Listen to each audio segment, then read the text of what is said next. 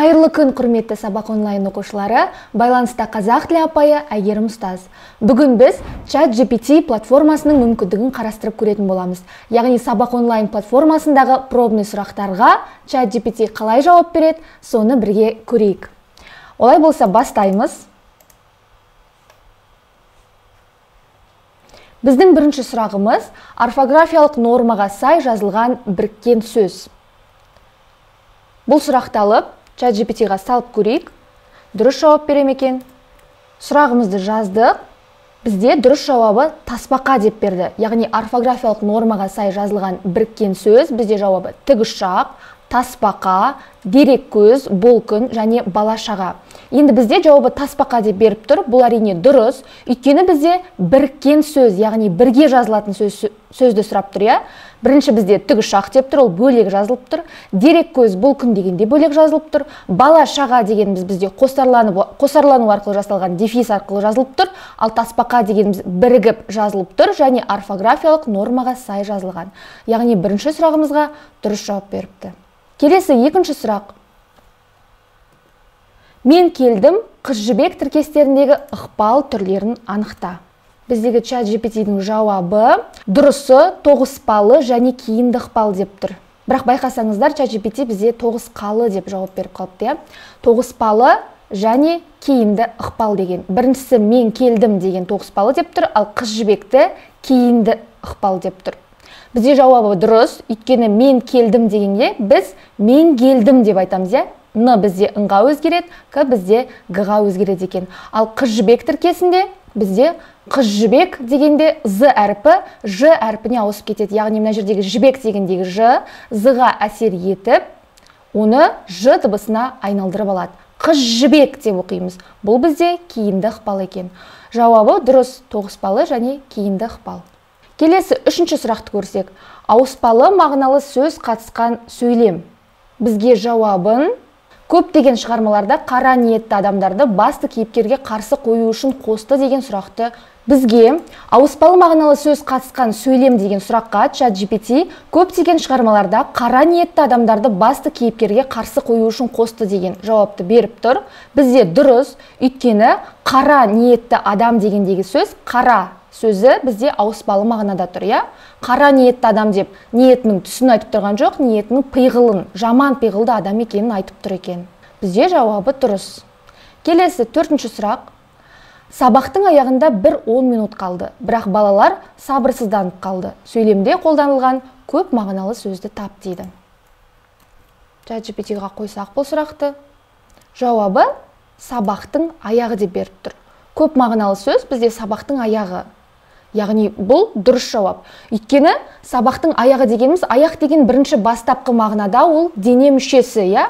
Ал сабақтың аяғы деп алатын болсақ онда ол көп мағыналы сөз. Өйткені сабақтың басы аяғы деп айтатын болса онда біз нақты сабақтың аяғы жоқ қой бірақ сабақтың соңы деген мағынаны білдіріп тұрғандықтан бұл жерде көп мағыналы сөзге жатады екен.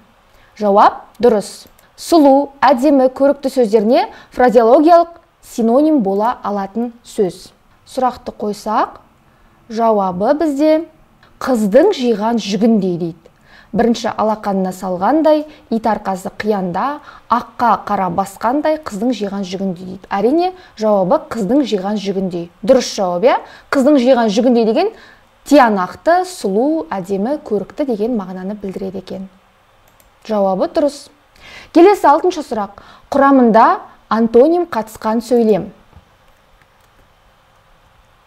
Сұрағымызды салып көрсек. Құрамында антоним қатысқан сөйлем.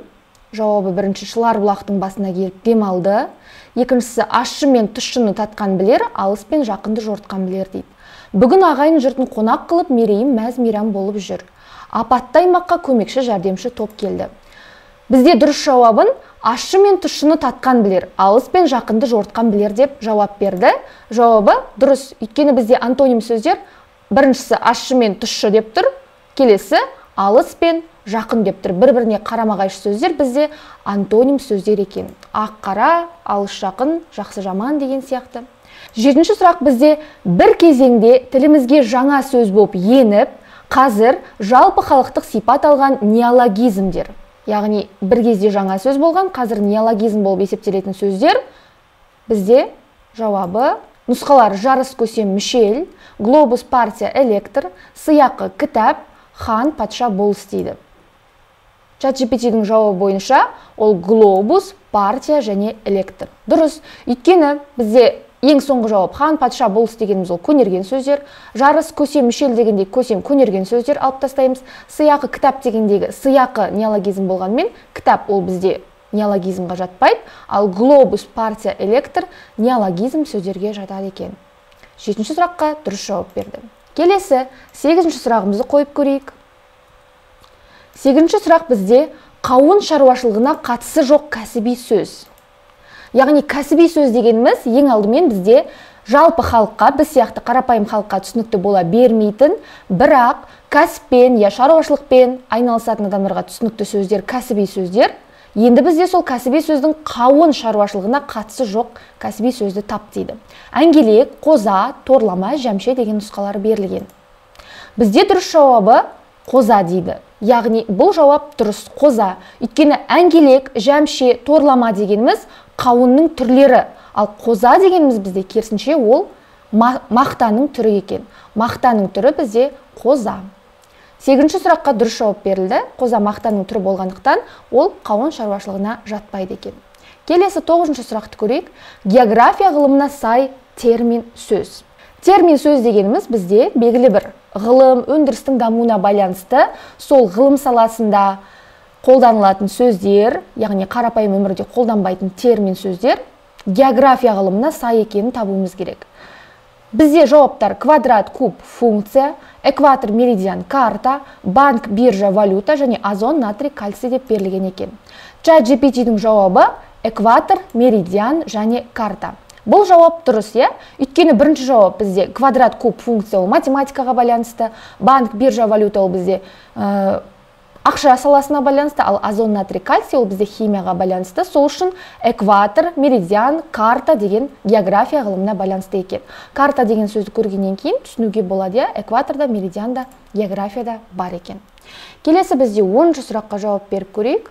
Тұлғасына қарай туынды болып жасалған туынды зат есімдерді тап дейді. Сұрағымызды біз чат gpt-ға қойдық. Енді нұсқаларында бор ақша жол және тарақ деген бар екен. Тұлғасына қарай туынды болып жасалған яғни бізде туынды сөз болуы керек. Тарақ деген жауапты берді чат gpt тарақ дегеніміз бізде дұрыс жауап болады иә? Өйткені оның бірінші түбірі тара етістік және қ бізде тарақ деп оны туынды зат есімге айналдырып тұр екен. Ал басқа нұсқаларды қарап көрейік иә? Жол жол дегеніміз ол өзі бір түбір. Оны әрі қарай біз бөлшектей алмаймыз. Ақша деген сөзде дәл солай. Ақша ол өзі түбір. Әрі қарай бөлшектей алмаймыз. Бор деген нұсқаны қарасақ бор дегенде дәл солай түбір ғана. Яғни бұның барлығы бор ақша жол негізгі түбір болса тарақ бізде етістіктен негізі етістік болып одан кейін зат есімге айналған туынды сөз екен. Осымен бізде он сұрағымыз аяқталды. Чат gpt әрине дұрыс жауап берді. Оқушылар бірақ чат gpt бізде қазір ең пайдалы мүмкіндік болғанымен интернеттегі ең танымал платформа болғанымен ең бірінші әрине чат gpt бізде ұбт ға көмектеспейді тек оған бізде дайындалуға көмектесетін құрал ғана иә? Өйткені ұбт ға кіретін кезде бізде тек қана өзіміздің миымыз біліміміз ғана қалады. Сол үшін чат gpt тек қана құрал ретінде пайдаланып білмеген сұрақтарыңды қарау үшін уақыттарыңды үнемдеу үшін ғана пайдаланып ал ұлттық бірыңғай тестке кіретін кезде өз білімдеріңізге сеніп кірулеріңізге кеңес беремін. Осымен біздің айдарымыз аяқталды. Сау болыңыздар.